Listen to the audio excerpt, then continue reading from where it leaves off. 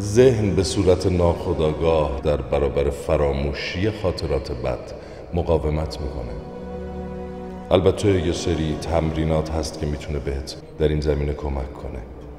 تو جلسه دوم می‌تونیم به مرحله جایگزینی برسیم.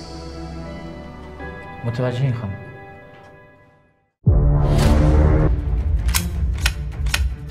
برای کلاس کار یک ذرایی می‌زنه. آدما معمولا برای آرزوهایی که بهش نرسیدن میترسن. من با تو به همه آرزو رسیدم. نمیای؟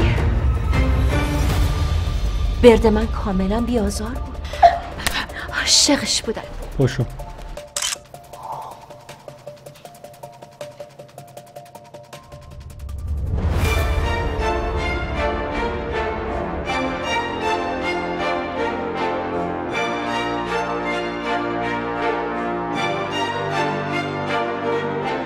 با هاشم کار دارم.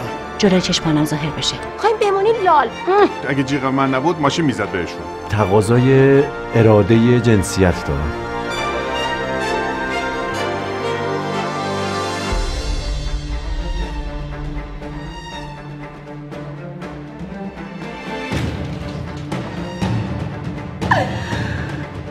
درد و بلاش بخوره تو سر بعضیا این تزئینیه. این عین وسایل خونه میمونه.